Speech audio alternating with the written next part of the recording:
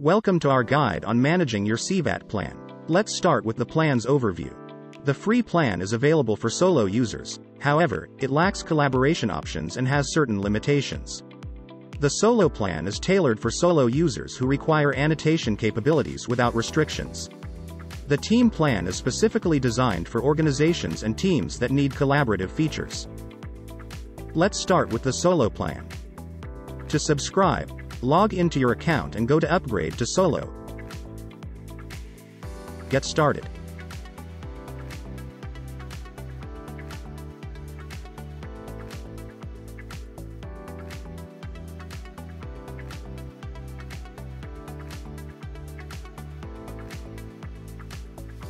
Now you can use CVAT without limitations. To cancel the solo plan, just go to the Manage Solo Plan. Manage. And click Cancel Plan. Your data is safe. No worries. You can renew your subscription at any time. For details see the link in the video description. Now let's imagine you tried CVAT on a solo plan and want to switch to the team plan. Here is how you can do this. Write to us and we will help you in case there are any questions or issues. Now let's see how to manage the team plan.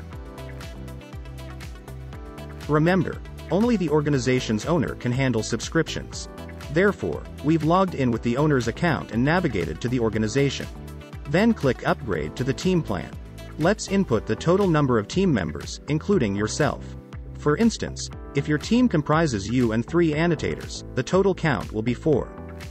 Click Get Started to access the payment page. Here, you'll find various payment options that depend on the country. In our case, it is a card, bank transfer, and Cash App. After choosing your payment method and filling in the necessary details, click Pay and Subscribe. You can then invite team members and begin collaboration. Now let's talk about how to manage subscription. For example, how to add or remove members or add VAT. On this page, you can add additional payment methods in case you need it.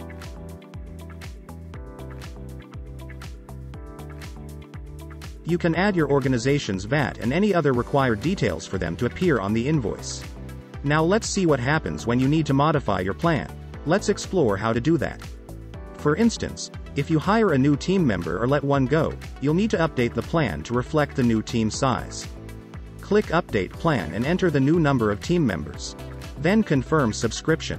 The amount to pay will be calculated automatically. For more information, see the link in the description. Now let's talk about the plan cancellation. The process is simple, just click Cancel Plan. But what will happen to your data in case of the cancellation? As you can see, your data will not be deleted immediately so you will have time to save it or come back to CVAT. So let's talk about how to renew your subscription. So in case you want to renew your subscription, just click Renew Plan and you will be back on track. Last but not least, we are often asked if it is possible to subscribe to both plans at the same time.